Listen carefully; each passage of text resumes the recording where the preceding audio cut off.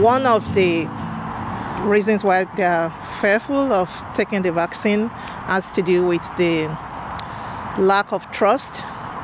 And this goes all the way back to many years, years of um, inequalities, inequitable access to opportunities and resources.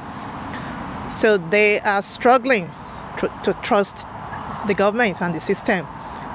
And some of the lack of trust has to do with historical events that many people from the BAME background have experienced. Um, people are asking some rational questions. Uh, my message would just be to encourage and reassure people to say things are different now. Uh, the regulatory system that are in place currently, they are more robust to what we have in the past.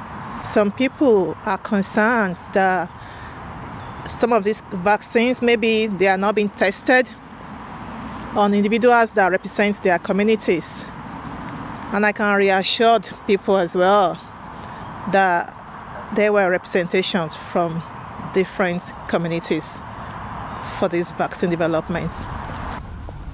I'm really impressed now that we have many of the faith leaders and many of the local community leaders who are supporting and making sure because these are the people that already have connections with people in their local communities and people trust them.